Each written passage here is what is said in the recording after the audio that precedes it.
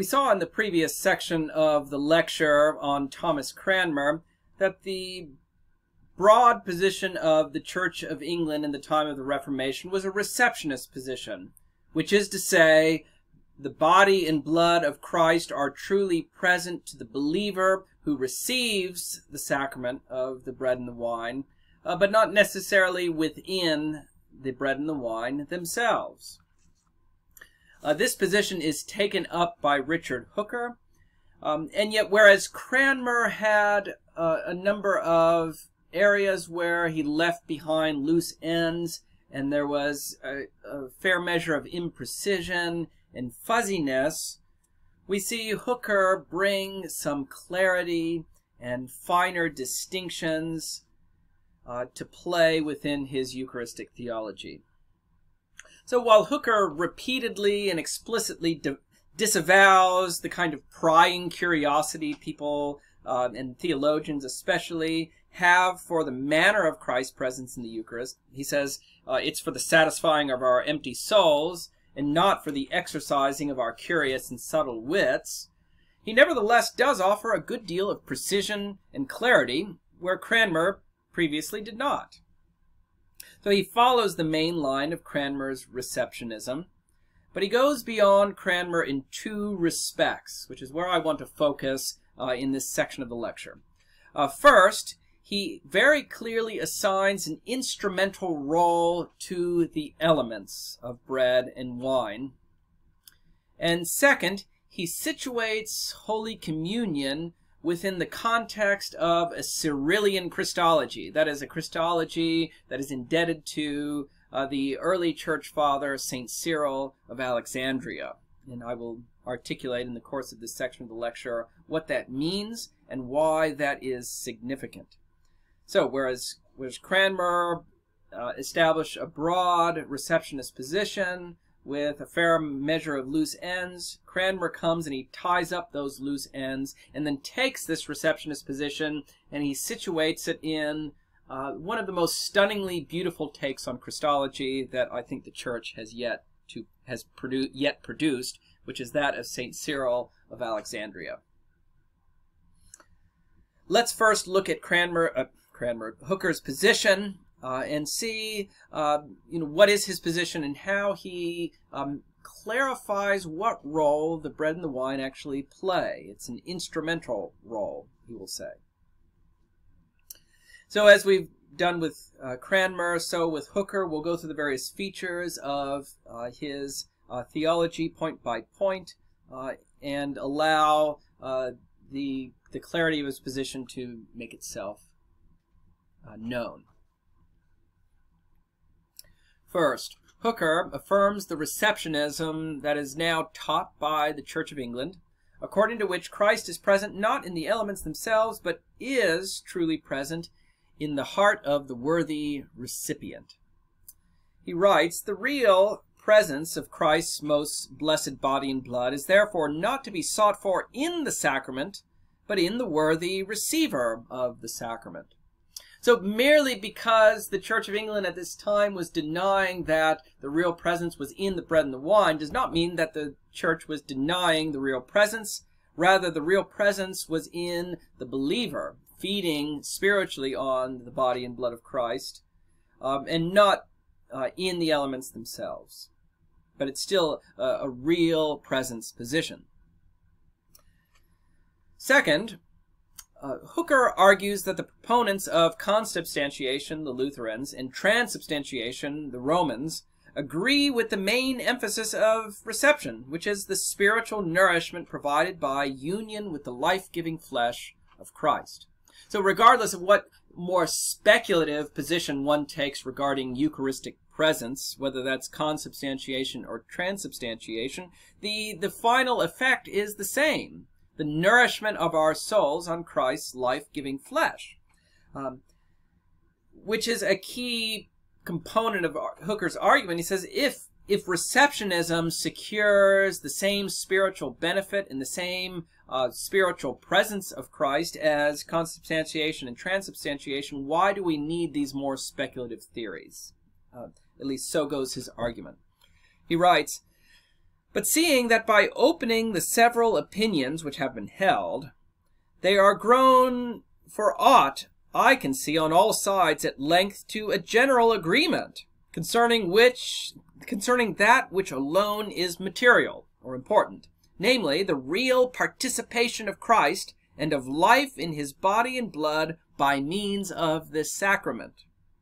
In other words, uh, regardless of all the arguments that's happening, can't we all agree? Isn't there a general consensus that the most important matter, the material matter here, is the real participation we have with Christ uh, and our real union with the life that comes by means of uh, comes in his body and blood by means of the sacrament. Isn't that what matters above all? Receptionism, as well as transubstantiation, as well as consubstantiation, secures that point. He goes on, whereof should the world continue still distracted and rent with so manifold contentions, when there remaineth now no controversy, so, saving only about the subject where Christ is.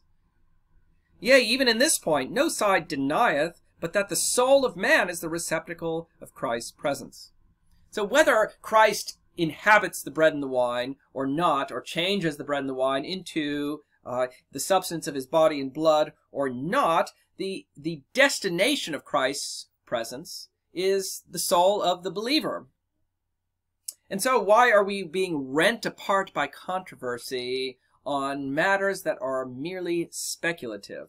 We're arguing about where we locate that presence, but we all agree that we need that presence, and indeed we get that presence of Christ's body and blood within the sacrament.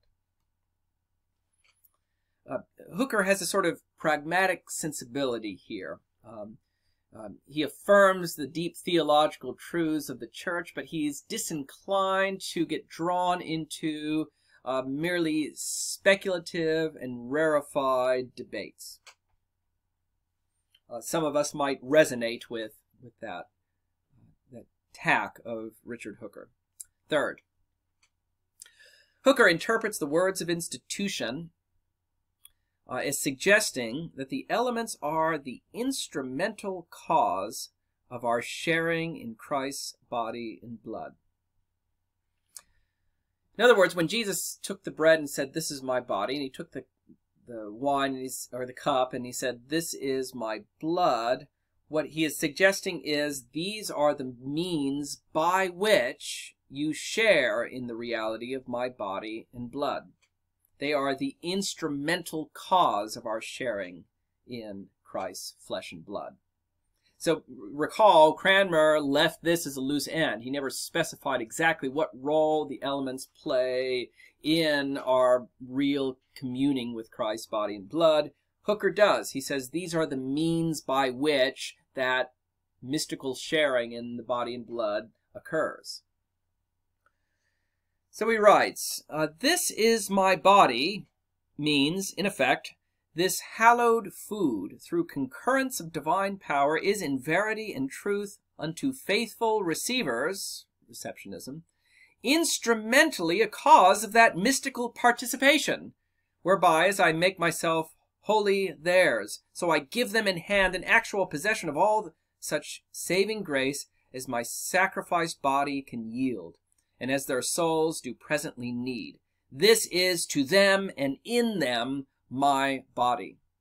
So, uh, for Hooker, the, bo- the, the, the bread and the wine may not be literally uh, the, the body and blood of Jesus Christ, and that presence of his body and blood may not be in the elements themselves, contained within them, uh, but because they are the instrument by which we now share spiritually in the body and blood of Christ, for all intents and purposes, this bread and this wine is to them and in them my body and blood. So there's an instrumental uh, role that the bread and the wine play. As he goes on later in that same uh, section of the laws of ecclesiastical polity, the bread and the cup are his body and blood because they are causes instrumental upon the receipt whereof the participation of his body and blood ensueth. So, in a unique way that goes beyond your communing with Christ uh, in your time of prayer, communion through by means of receiving this bread and wine gives you a mystical participation and a real sharing in Christ's own body and blood. So really, you know, Cranmer, uh, Hooker uh, says he's not going to engage in curious and subtle use of wit. Uh, he's not going to get in, drawn into speculative matters, but think how much clarity and precision he's brought to this. One, he says we, we do have uh, the real presence of Christ's body and blood that is not located within the bread and the wine, but by means of the bread and the wine, we share in that body and blood. There's a, great deal of precision here that leaves a mystery, yes, but it doesn't leave many further questions to be asked. So we have here a, a mystery uh, rather than a problem. You know, problems are there to be solved, mysteries are there to be contemplated. Uh, Cranmer solves all the problems, thus preserving the mystery of Holy Communion. Um, if you can't tell, I find this a very persuasive position, um, very satisfying intellectually, at any rate. Well, I've covered the instrumental role uh, assigned to the elements of bread and wine, uh, which is the first way in which Cran uh, which Hooker has gone beyond Cranmer uh, and offered more precision and clarity. Let me now go on to the second. I suggested that uh, Hooker did, does a better job than Cranmer of situating Holy Communion within the larger Christological question. And what Hooker offers is uh, a Cyrillian Christology that renders Holy Communion um, uh, clearer and um, um, well, he gives a rendering of Eucharistic theology that situates it in a, a beautiful and profound Christological vision, which is that of Cyril of Alexandria. Here I go back into earlier sections of the laws of ecclesiastical polity in Book 5. You will read these sections in a few weeks, uh, but since you haven't read them yet, I brought them into this lecture in order to better make the point that I want to make. Um, as you notice, we, are getting a lot of Richard Hooker, uh, more this year than in previous years. Um, that, of course, is, is by design. Hooker's Christology, 5, or number 4, rather. Hooker's Christology, developed earlier in Book 5 of uh, the Laws of Ecclesiastical Polity, is explicitly indebted to St. Cyril of Alexandria. Now, let me talk about the Christology of Cyril just briefly. Uh, Cyril's calling card, so to speak, is um, an emphasis on two things. First, on the unity of human flesh with the divine person of the Son. So he emphasizes the unity of Christ, whereby uh, in the incarnation, human flesh is brought into a perfect union and unity with uh, uh, his divinity such that in this union that human flesh is sanctified and transfigured, uh, deified even, and made life-giving. So it's it's still human flesh, just like our human flesh. However, in this hypostatic union, in the union of the incarnation whereby Christ assumes this human flesh, he transfigures it and he sanctifies it and he renders it life giving. He imbues human flesh with the life of God Himself. Okay, that's the first emphasis. The second follows directly from it. For Cyril of Alexandria, our sanctification is the effect of our union with that life giving flesh of Christ rather than union with bare divinity. Cyril is not interested so much in union with merely God or bare divinity. Rather, he's interested in union with God by being unified with that transfigured, deified flesh of Christ. So it's as if for Cyril, what matters is the, this flesh of Christ, which we share in, has been rendered life-giving. And so then when, when we're un, united to that flesh, the life of God comes to us. So that flesh is the wellspring of eternal life for Cyril. So our salvation itself depends upon our union uh, with Christ's own flesh. And what Cyril will point out is that that's what Paul means by the body of Christ. What is the body of Christ? Well, it is that company of people who have been unified uh, to Christ's own body such that we become knit into him as members of his body. Uh, uh, so there, this is a real and this is a vivid uh, union with Christ's own flesh. So twofold emphasis. Uh, Christ's sanctification and transfiguring of human flesh within uh, the unity of his person in the incarnation, and then our sanctification coming from our union with the fleshly Christ. Uh, as we come into contact, so to speak, with that life-giving flesh that has um, the presence of God filling it and transfiguring it and transforming it. So it's as if what Christ has done to his own flesh, by union he does to us. He transfigures us and transforms us within a real union within with himself. Okay, with that in mind, how does Hooker incorporate this? Well, he incorporates this explicitly. He, he explicitly points out that he is, in his Christology, Cyrillian. He says, These things St. Cyril, duly considering, reproveth their speeches which taught that only the deity of Christ is the vine whereupon we by faith do depend as branches. In other words, unity with bare divinity. Again, uh, uh, Cyril's not interested in bare divinity. That does us no good. That doesn't save us. What he's interested in is Jesus Christ in the flesh. And that neither his flesh nor our bodies are comprised in this resemblance. For doth any man doubt that even from the flesh of Christ our very bodies do receive that life, which shall make them glorious at the latter day, and for which they are already accounted parts of his blessed body?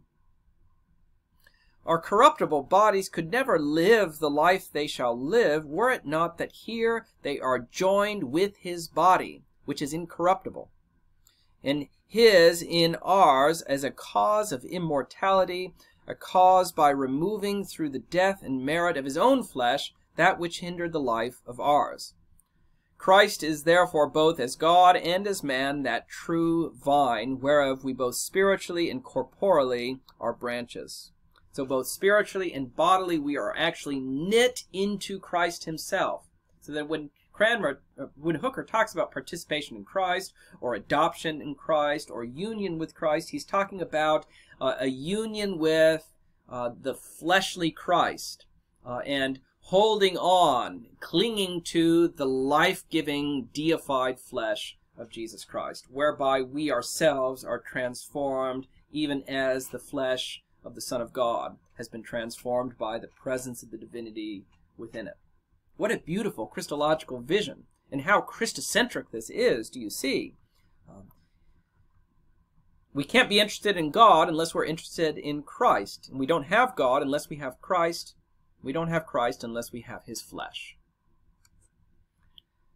Uh, Hooker goes on um, in that same section a little bit later. Thus much no Christian man will deny, that when Christ sanctified his own flesh, giving as God and taking as man the Holy Ghost, he did not this for himself only, but for our sakes, that the grace of sanctification and life, which was first received in him, might pass from him to his whole race, as malediction came from Adam unto all mankind. So how do we get the sanctification and life uh, that we need for our salvation? We get it by union with Christ in his very flesh. That is Cyril of Alexandria's theology. What does this have to do with Eucharistic theology? Well, everything. A Eucharistic theology is just a simple extension of this kind of thinking. What do we need for our salvation? Christ's flesh. What do we get in Holy Communion?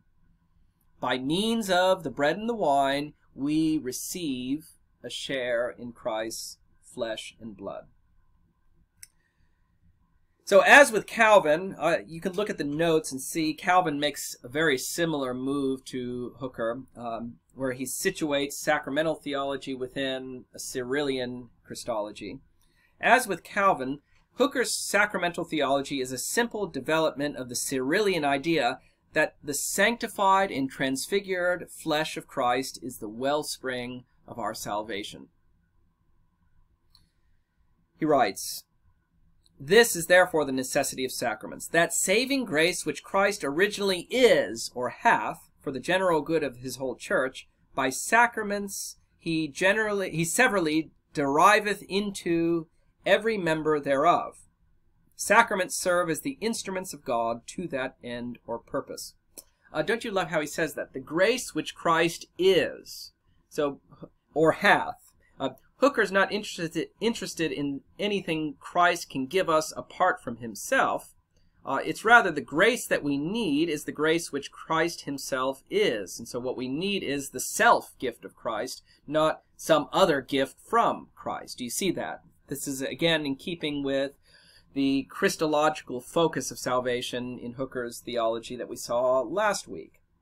So, by means of the sacraments, the grace which Christ is, right, he has, by means of the divine life that he has, transfigured his own flesh. Uh, by the sacraments, he gives that grace to us, deriveth it into us, um, Hooker says. So the, the sacraments are the instruments by which God does that.